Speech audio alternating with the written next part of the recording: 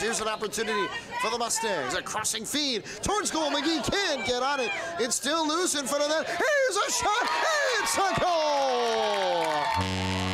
Two nothing. Stevenson.